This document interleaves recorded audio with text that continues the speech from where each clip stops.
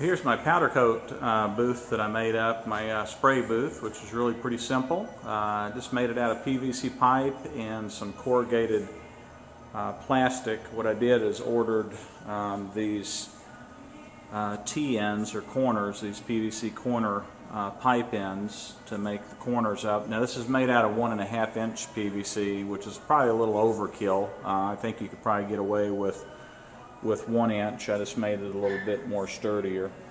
Uh, that's my powder coat gun in there. I'm getting ready to start doing a little powder coating. And what I did in the back is I used a uh, furnace filter and I just put up some aluminum um, L kind of bracketing in there to hold the filter. I'm using a uh, 16 by 20 by 1 filter. Kind of went with that because that's the size I use in my house for my furnace filter, so I'm not having to buy separate filters. But I'll show you here in a minute on the back how I've got a vacuum hooked up.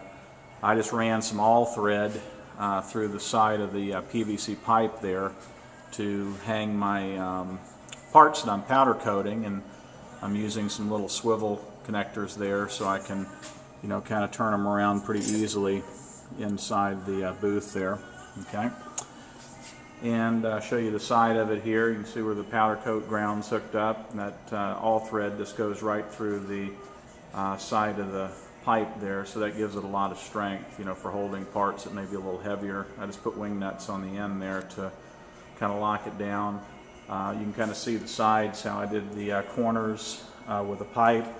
This is just a uh, corrugated uh, plastic sheeting I got over at Home Depot. I think the whole uh, thing probably cost me about, I don't know, 50 bucks maybe to build.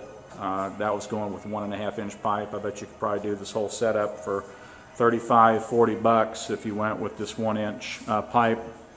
And then in the back what I did uh, is this took some of the corrugated plastic and built a little kind of air chamber in the back. You can see the top, and I'm using just a really good white uh, duct tape, which works great to kind of seal the corners off. And then I just have my vacuum hooked up to it uh, right beside my sand blaster there, which I use for the same thing for my air evacuation there. It works great.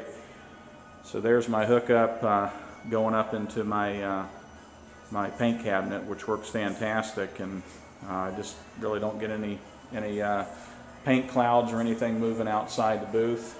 So uh, went with uh, the Harbor Freight powder coating uh, system. Works fantastic. Uh, you know, probably in a professional environment, you know, may may be a little different. I don't know, but you know, in a home garage for what I'm doing for some small restoration project projects, it works great. And I also ordered the um, Harbor Freight powder coating oven. You know, I was looking at converting an oven over. Uh, probably would have spent you know hundreds of dollars doing that and came away with something that probably wouldn't work. so I went in and coughed up the uh, the money for this oven, and I absolutely love this thing. Um, it fits right under my workbench, which is great. Um, it's an 18 by 18 by 18 opening, which is plenty big uh, for what I'm doing. Uh, heats up great. Um, I'm just totally thrilled with the whole setup. And you know, this whole setup here uh, probably ran me, um, I don't know, 600, 700 bucks, 650, 700 dollars for the whole setup. And again, I can do a, a, ton of stuff. And you know, good thing about Harbor Freight is you get those 20% off coupons and save some money. There's the inside of the oven, which is nice. It has a couple of hanging bars, plenty of racks. Uh, elements are in the bottom, all stainless steel coated.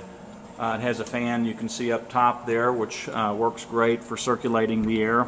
Um, uh, it does come with a rack there that I'm going to use here in a minute.